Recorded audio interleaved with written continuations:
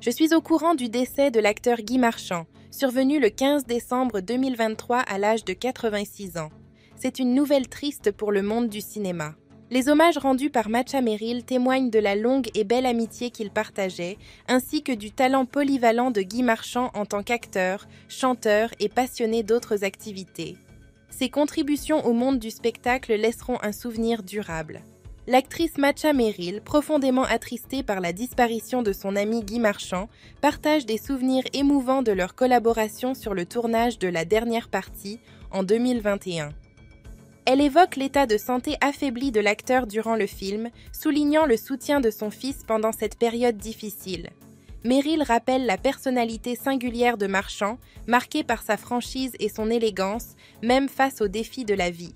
Cependant, elle dévoile que Guy Marchand a vécu difficilement sa dégradation physique, exprimant le désir de ne pas être réduit à une existence marquée par la dépendance. C'est un témoignage touchant qui souligne la complexité des derniers jours de l'acteur.